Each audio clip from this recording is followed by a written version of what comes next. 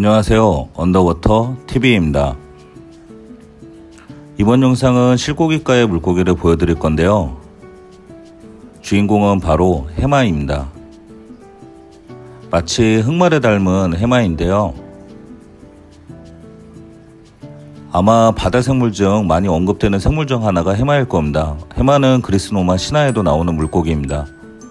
바로 바다의 신 포세이돈의 마차를 해마가 끄는데요. 뭔가 늠름하고 빠른 속도를 보일 것 같지만 항상 현실과 이상은 다른 법이죠. 포세이돈은 맨날 약속 시간에 늦겠죠. 보통의 물고기가 유선형의 몸체를 가지고 있는 반면 해마는 곧은 허리를 가지고 있습니다. 거기다가 지르러미도 다른 물고기에 비해 작죠. 거기다가 위도 거의 태화해버려 큰 먹이를 먹지도 못합니다. 보통 물고기와는 다르게 딱딱한 갑의 피부를 가지고 있지만 방어력이나 공격력이 강한 물고기도 아니에요. 해마는 도대체 왜 이럴까요? 생김새를 일단 둘러볼게요. 보통 이렇게 옵션이 약하면 특별한 기능이라도 있는 것이 일반적인데 해마는 그렇지도 못합니다. 남들처럼 전기 쏘는 것도 없고 후각도 좋지가 않아요. 오로지 시각 하나만으로 사냥을 하는 편입니다. 더 정확히 말한다면 사냥이라기보다 밀려오는 먹이를 시각으로 보고 주둥이를 내민다는 표현이 맞겠네요. 저렇게 꼬리 말고 흐르는 물에 주둥이를 내미는 것이 전부죠. 저 자리를 유난히 좋아해서 어항 내 필터 위치를 바꿔야 했어요. 물이 본인 쪽으로 와야 그나마 플랑크톤이라도 먹거든요. 이 아이는 당연히 촬영 이후 졸업 예정입니다. 멸종 위기종이라던가 개체수가 많지 않아서 이런 정의로운 이유라기보다 키울 자신이 없어요. 어항에 해마를 집어넣는 순간 제가 키우는 아이의 절반은 졸업시켜야 이 아이가 살 수 있거든요. 일단 여기저기 팔팔거리기 좋아하는 소라기 합사 불가, 여기저기 비비적거리는 크라운피쉬, 댐슬피쉬 불가, 당연히 동네 불량배 역할을 하는 곰치와도 합사 불가, 뭐 안 되는 것이 많은 해마입니다.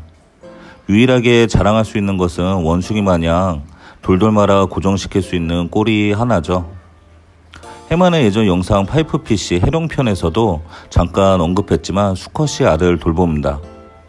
암컷이 수컷의 배낭에 알을 낳아 배낭에서 새끼 상태로 배출을 시켜 번식을 하는데요.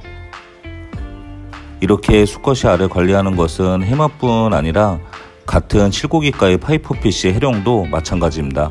실고기가에 많은 아이들이 수컷이 알을 돌보는데 현재까지 밝혀진 가장 큰 이유는 바로 번식만을 위해 태화했기 때문입니다. 보통 생물이라면 진화를 하지만 있다 없으면 진화라기보다 태화라는 표현을 쓰는 것이 좀 더 맞겠죠.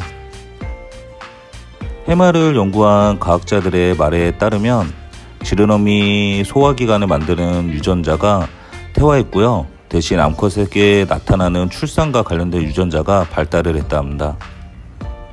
그래서 수컷이 알을 케어할 수 있는 배낭을 가지게 된 건데요. 영상 속에 있는 아이는 배낭도 발달하고 배출구멍이 또렷하게 있는 걸로 봐선 누가 봐도 수컷이네요. 해마는 키우기 어렵기로 소문이 나 있는데요. 해수 시장도 발달함에 따라 사료도 종류가 다양해지고 번식에도 성공하신 분들이 늘어나면서 점차 해마 키우기에 도전을 하시는 분들이 많은 걸로 알고 있습니다. 그래도 다른 생물에 비해서 말할 수 없을 정도로 손이 가야 하는 생물 중 하나니 이 점 유의하여 입양하시고 키우시면 될 것 같네요. 한국에서는 법적으로 보호받고 있는 생물이니 이 점도 유의하시고요. 이상 능력은 별다른 게 없지만 보고만 있어도 이쁜 생물 바다의 야생마 해마였습니다. 해마는 짝을 지으며 암수 평생 같이 살아요. 싸우지 말고 해마처럼 항상 행복하세요.